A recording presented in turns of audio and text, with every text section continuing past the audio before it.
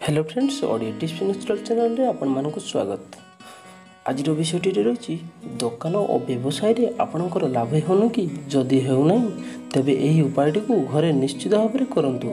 ଦେଖିବେ ଆପଣଙ୍କର ଉନ୍ନତି ସୁନିଶ୍ଚିତ ଭାବରେ ହେବ। ତେବେ ଫ୍ରେଣ୍ଡସ୍ ଆସନ୍ତୁ ଜାଣିବା ସେହି ଉପାୟ ଗୁଡ଼ିକ କିପରି ଓ କେମିତି କରିବା। ତା ପୂର୍ବରୁ ଆପଣମାନଙ୍କୁ ରିକ୍ୱେଷ୍ଟ କରିବି ଯଦି ଆମ ୟୁଟ୍ୟୁବ୍ ଚ୍ୟାନେଲ୍କୁ ସବସ୍କ୍ରାଇବ୍ କରିନାହାନ୍ତି ତେବେ ସବସ୍କ୍ରାଇବ୍ କରିନିଅନ୍ତୁ।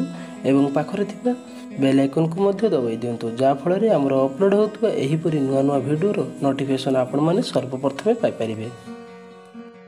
ଆପଣମାନେ ଜାଣିଥିବେ ପ୍ରାୟ ଲୋକଙ୍କର ଦୋକାନ କିମ୍ବା ଯେକୌଣସି ବ୍ୟବସାୟରେ ଧୀରେ ଧୀରେ ଲାଭ କମିବାରେ ଲାଗେ ସେଥିପାଇଁ ସେମାନେ ଚିନ୍ତାରେ ରହିଥାନ୍ତି। ଏଥିପାଇଁ ପରିବାରରେ ବହୁତ ସମୟ ଧରି କଳହ ସୃଷ୍ଟି ହୋଇଥାଏ ଆୟ ଘର ଶୂନ ହୋଇଗଲେ ପରିବାରରେ ସ୍ୱାମୀ ଓ ସ୍ତ୍ରୀ ମଧ୍ୟରେ ଝଗଡ଼ା ଦେଖାଯାଏ।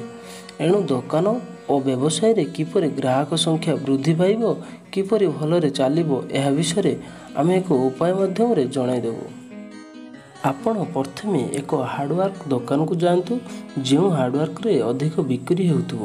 ସେଠାକୁ ଯାଇ ଗୋଟିଏ ଲୁହା କଣ୍ଟା ଆଣନ୍ତୁ।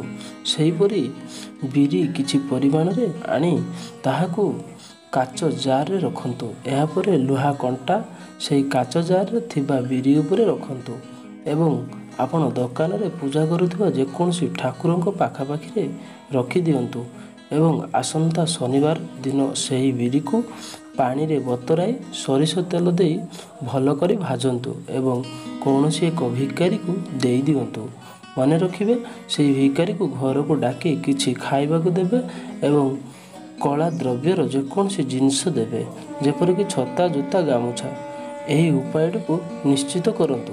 ଦେଖିବେ ଆପଣଙ୍କର ଦୋକାନରେ ଏବଂ ବ୍ୟବସାୟରେ ସବୁ ଭଲ ଭାବରେ ଚାଲିବ ଲାଭ ସୁନିଶ୍ଚିତ ହେବ। ସେହିପରି ଆଉ ଏକ ଉପାୟ ମଧ୍ୟ କହୁଛି। ଆପଣ ସେହିପରି ଠିକ୍ ଶନିବାର ଦିନ ସକାଳୁ ନିତ୍ୟକର୍ମ ସାରି ଏକ ଅସୁସ୍ଥ ଗଛ ମୂଳକୁ ଯାଆନ୍ତୁ। ସେହି ଗଛରୁ ଗୋଟିଏ ଅସୁସ୍ଥ ପତ୍ର ଛିଣ୍ଡେଇ ଆଣିବେ। ସେହି ପତ୍ରକୁ ଆଣି ତାକୁ ପାଣିରେ ଭଲ ଭାବରେ ଧୋଇଦେବେ। ଏହାପରେ ଗୋଟିଏ ପାତ୍ରରେ ସେହି ପତ୍ରକୁ ରଖି ଠାକୁରଙ୍କ ସାମ୍ନାରେ ରଖିଦିଅନ୍ତୁ ଏବଂ ସେହି ପତ୍ରକୁ ଚାହିଁକରି ଧ୍ୟାନର ସହ ଏକୋଇଶ ଥର ଗାୟତ୍ରୀ ମନ୍ତ୍ର ପାଠ କରନ୍ତୁ। ଗାୟତ୍ରୀ ମନ୍ତ୍ର ପାଠ କରିସାରିବା ପରେ ସେହି ଅସୁସ୍ଥ ପତ୍ରକୁ ନେଇ ଆପଣ ଆଲମାରି ବା ପଇସା ବାକ୍ସରେ ରଖିଦିଅନ୍ତୁ।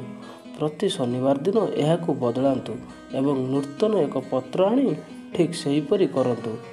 ତେବେ ଆପଣ ଏଗାର ସପ୍ତାହ ଶନିବାରରେ ପ୍ରତି ଶନିବାରରେ ଗୋଟିଏ ପତ୍ର ଆଣି ତାକୁ ଗଙ୍ଗା ପାଣିରେ ଧୋଇଦେବେ ଗୋଟିଏ ଥାଳିରେ ରଖି ଠାକୁରଙ୍କ ସାମ୍ନାରେ ରଖିଦେବେ।